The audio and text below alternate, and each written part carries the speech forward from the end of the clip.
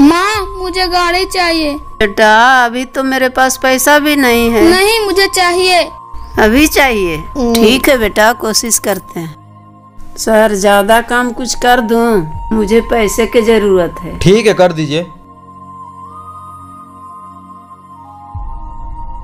ये लीजिए एक्स्ट्रा काम के पैसे। माँ?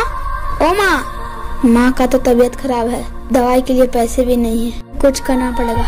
मालिक मैंने माँ के बदला सारा काम कर दिया। कुछ एक्स्ट्रा काम कर दूँ? पैसे दे देना।